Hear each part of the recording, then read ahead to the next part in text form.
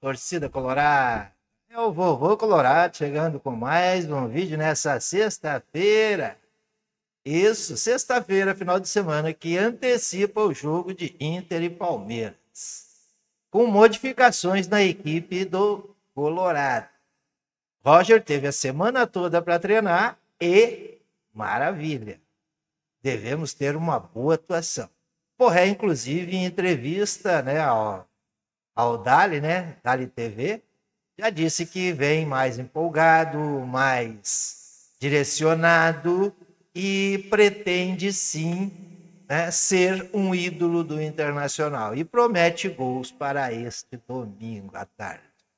Mas o que nos traz aqui nesse vídeo é uma boa grana, um bom dinheiro que o Inter pode receber pela venda de Johnny ao Milan da Itália. É, a janela de transferência europeia está aberta e os clubes seguem buscando contratações visando o segundo semestre de 2024. Diante deste cenário, a imprensa da Espanha revelou que o volante Johnny, né, ex-nosso meio-campo ali, estaria na mira do Milan é o Milan da Itália.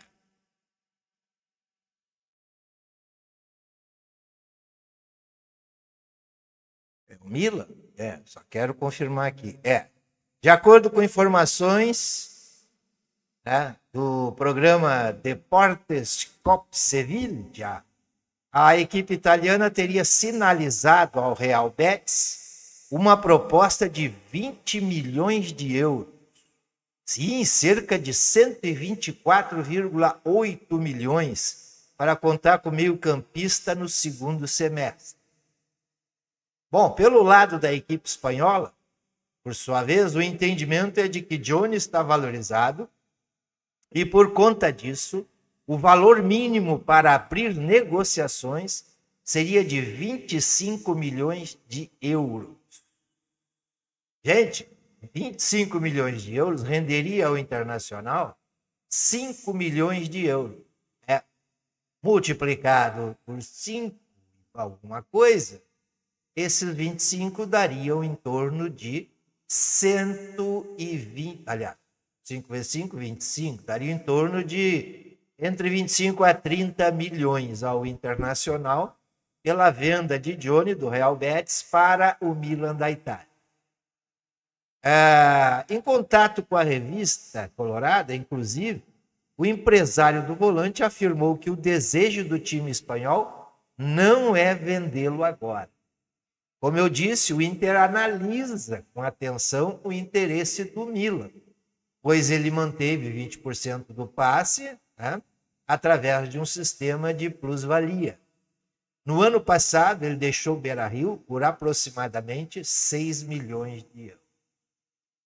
Bom, gente, é grana que pode entrar, né? Grana que pode entrar agora nesse meio de ano nos cofres do Internacional.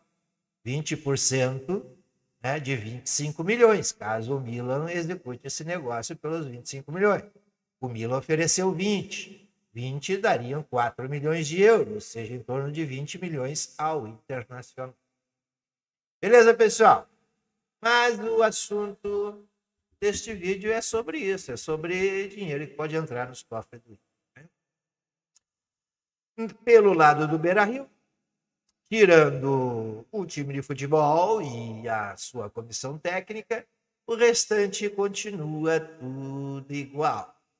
Né? Direção esportiva continua a mesma, droga. A presidência continua a mesma incompetência Hoje é dia 2 de agosto, temos 30 dias para a janela e não temos nenhum nome negociando. Aliás, o sistema de negociação do Inter é bastante complicado, porque o Inter não abre mão de trazer jogadores que estão em final de contrato e não pagar né, pelo passe. Aliás, até nem tem dinheiro para isso. Né? A gente sabe como é que estão as coisas. Parece que é, definitivamente é, a executiva então apresentou lá né, as rúbricas para o conselho. Então, o conselho tem que se movimentar e mexer com alguns pauzinhos para conseguir tirar essa direção ainda esse embora que já é um ano perdido, né? Mas pelo menos a gente pode ter perspectiva para o próximo ano, uma vez que essa presidência não trocou a direção de futebol, que é o mais importante neste momento, porque sabemos que o Roger já está executando o trabalho, está tendo tempo para executar o trabalho, vai ter modificações no time, tanto em esquemas tático quanto em intensidade.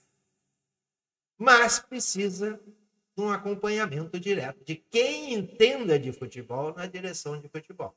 E quem não seja, né, quem não compactue com essa presidência inoperante e ininteligente para o futebol. Beleza, pessoal? Só mais uma crítica. Né? Mas eu não deixo de criticar e nem duvido e a minha intenção a partir de agora é em todos os vídeos que eu fizer aqui, sempre corroborar para que haja né, ou uma, um pedido de impeachment, que se acha alguma coisa, ou que haja uma renúncia por parte desse incompetente Barcelo. Valeu, pessoal. Deixa o likezinho, inscreva-se no canal e ative o sininho. Beleza? Um abraço. Até a próxima. Fui.